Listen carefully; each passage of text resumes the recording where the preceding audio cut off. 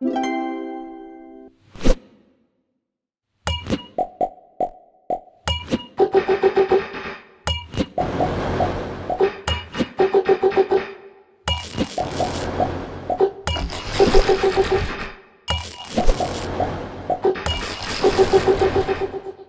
Can-Do is from South Africa. Current food production models, including large scale industrial monocropping, are depleting topsoil and poisoning the land and water, while large sections of the population remain malnourished.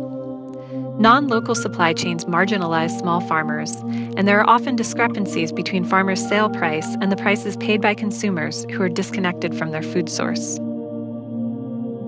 Team Can-Do drew inspiration from a multitude of natural organisms, namely the swarm intelligence of ant colonies for self organization, the distributed network pattern of leaf veins to lend resilient optimal route options, mature ecosystems which exchange value in holistic and mutually beneficial ways, and grassland ecosystems which maintain a resilient community.